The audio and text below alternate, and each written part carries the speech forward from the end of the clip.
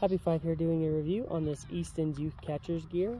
Uh, this We got this gear because it is uh, the right size for him obviously, but I really like how it has full coverage over the knee and then up on the thigh for him. Uh, it has, turn around real quick, it has the clips that you find on normal catcher's gear, but these are, they don't really slip.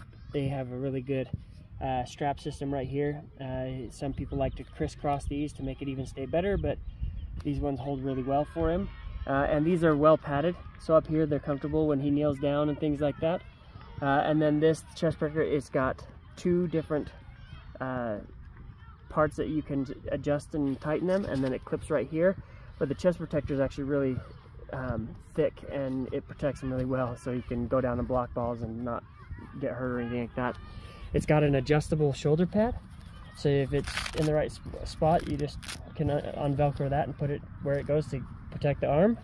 And then the head gear, it's the hockey mask type style. And it has just three straps on the back and you can tighten those as well so you can make it so it fits his head the right way. And those are easy to take off. You just slide it off and you can put it back on really easy.